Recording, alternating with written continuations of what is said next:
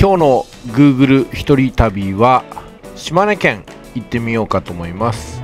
島根県の日南市と日野町の近くにね力士像ってのがあるんですよ。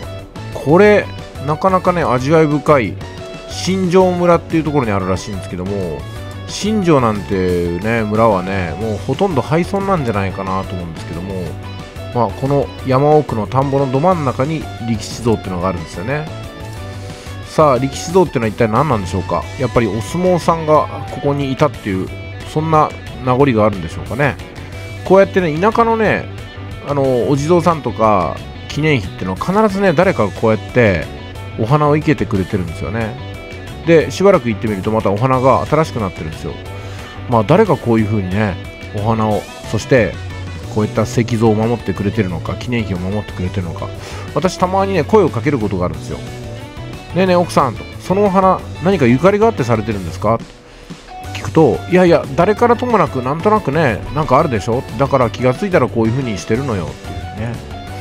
なんかいいですよねそういうのって。で力士像の写真なんですけど何枚かありますんで2枚目をね見てみようかと思います。こちらです。力士塚。力士塚ですね力士像じゃなくて。力士塚。だから力士のお墓なんでしょうね。上右衛門は小谷元禄といい身長は6尺約2メートルであったと。体重は40名つまり160キロあったという。出妻稲妻雷五郎って読むんですか？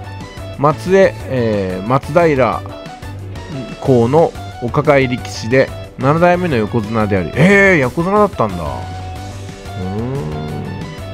そんな方がいらっしゃったんですね。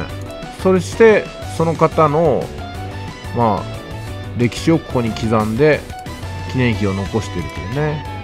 五人塚えー、なんだろう。大隈長者によって殺された5人の使用人の墓。へえ五人塚ね。五人塚ってのは確か近くにありましたね。これですね。えー、五人塚ね。あ塚が5つあります。でもまあ何とも言えない。うん。あでもきちんと固められてそれっぽくなってるんですね。へえこういう風な小さな言われがあるところも開墾せずにこうやって祀っているんですね。なんだこれ。大木刀と氏神と書いてます。こちらなんでしょうね。あこういうこういうのってありますよね田舎にね。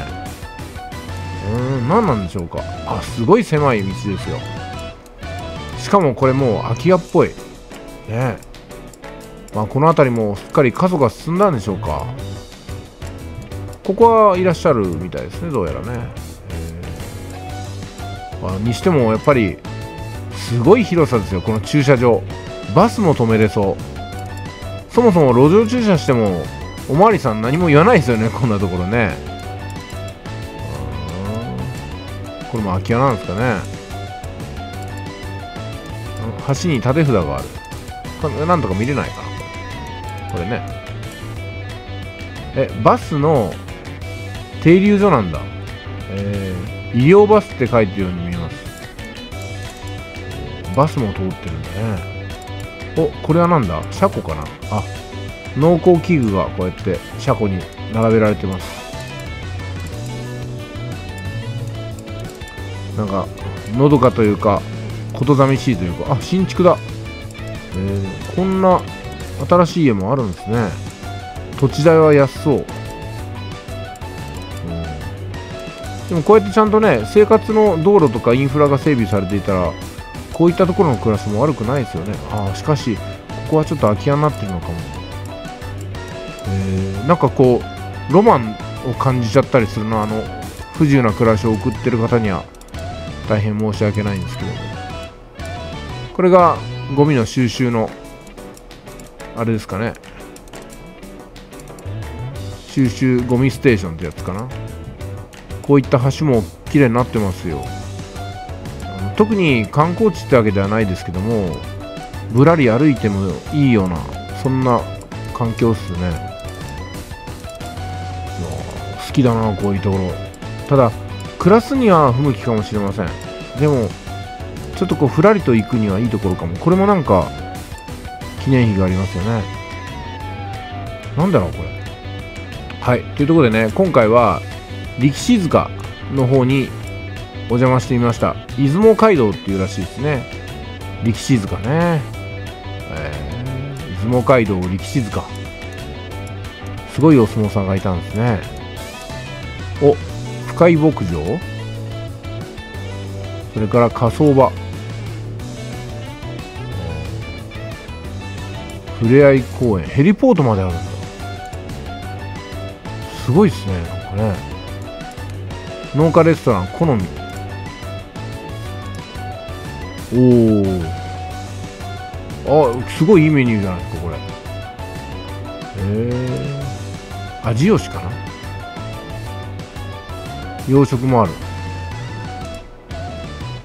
はい。うどん450円。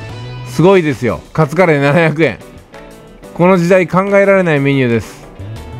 最高商品が1200円。しかも上で 修正機で書いてるというね。あただ冬は雪に閉ざされるみたいです。はいじゃあ今日も Google ポツンと一人旅。ロマンを感じましたね。それじゃあ。